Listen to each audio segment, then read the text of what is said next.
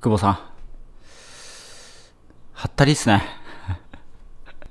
まあ多分ね、まあ、うーん、久保さんがちょっと他の人と違ったのは、やっぱりその、まあ、リアルで麻雀店をやってて、まあそこの経験値、まあその他、麻雀店以外の経験値があったっていうのは、あの、他の人と違いましたよね。だからこそ、あのまあ一般ピーポーですよね。一般ピーポーって言ったら言葉があれかもしれないですけど、まあ雇雇われてね、うーん、まあ思考停止じゃないですけども、やっぱそこの、なんだろうな、重みというか、それを体験してない人たちが集まってるのがほとんどですから、んまあその、傷の痛みも、え、その程度みたいな。え、その程度で騒ぐみたいな。多分まあそういう感覚があったんじゃないかなと思いますね。うん、なんか、ちょっと擦り傷で、あーみたいな。あーいやいや、擦り傷でしょみたいな。そこはやっぱね、他の人と久保さんは違かったとこありますね。ただし、でも、そうは言っても、そうは言っても麻雀店のおっさんですから、うん、じゃあ、じゃあそ、それと、それは、なんだろうな。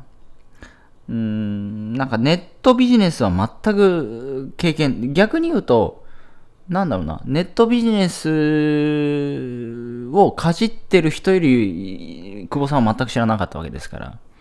うん。だからね、結局ね、一番何が大事かっていうと、うーん、まあビジネスを知ってるか知らないかっていうのは結構大事かもしれないですね。ビジネスとは何なのかっていうのをある程度知ってるか知ってないかっていうのは結構だってこれからビジネスやろうとしてるのにそのビジネスの概念をまああんまり理解していない。でもシンプルなんですよ。インターネットを使ってただただただただ単純にインターネットを使ってあの集客してでそのお客さんに売る。売ってるのは人に売ってるだけなんで、まあリアルもネットも大した変わんないんですよ。だ飽きない。飽きないっていうのは何なのかっていう。そこに人がいて、その人との関係性を構築して、で、しっかりこう、なんだ、あの、売っていく自分の商品をちゃんと売り込んでいくっていう。このなんかシンプルな構造を、まあ、知らない、理解してない、経験がない。久保さんは麻雀店だったけども、まあビジネスをやってたわけですよね。うん、実際お客さんをお店に集客して、で、その集客したお客さんからお金をチャージするってことをやってたわけですから。でもこれって、まあほとんどの人はやってないので、うん。だからビジネスをやっていくんであるならば、まあ、まあしん、そんなに難しいことじゃないですよ。単純にそこに誰が金払うのかっていうだけなんで。えそうじゃないですか。ロボットがお金払うわけじゃないので。まあ、これがね、広告ビジネスとかになってくるとちょっと変わるんですけどね。アフリエイトとか、あのその YouTube のアフリエイトとかになってくると、まあ、クリック型の広告のアフリエイトとかになってくるとちょっと変わってきたりしますけど。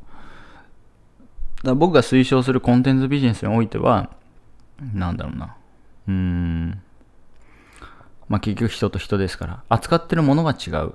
扱っているテクノロジーが違うって、それぐらいですよね。うんそこに関わるのは結局人と人であるっていうとこで。うん。